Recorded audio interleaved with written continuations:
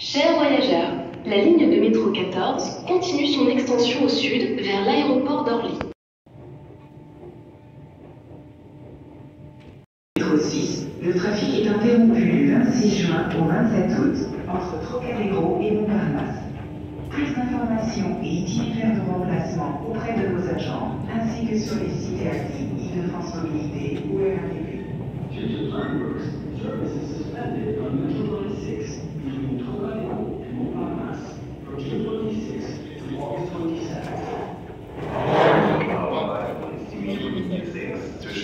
Trocadero und Montparnasse vom 26. Juni